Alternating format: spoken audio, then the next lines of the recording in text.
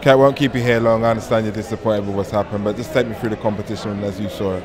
Yeah, I'm, I'm happy with, with all my performances really. Um, I'm happy with my attitude and the way I bounced back after a particularly hard performance in the second event. Um, all my performances apart from the high jump, sorry. So a lot to, to build on and a lot in the bag and there for me to, to work on. So I'm just excited for the future. What have you been working on this year in order to get yourself in the type of shape that could possibly have medalled? Um, everything. Everything's been torn apart and built back up from scratch. My training, you know, the mental side, I've been working on a lot. The way my body is able to go through two days of competition and not get injured or, you know, feel the stress of day, the stress of day one. I felt good at the start of day two, so my body's handling the workload a lot more.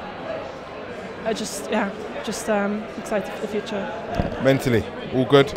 Yeah, mentally good. A bit gutted that I missed the opportunity at home champs, but like I said, I'm excited to go forward. Fair play. Crowd got behind you though. Well done, the crowd. Yeah, the crowd are incredible, and you know that's that's what I wanted to go out there and give that 800 for them because they've helped me enormously over the last two days.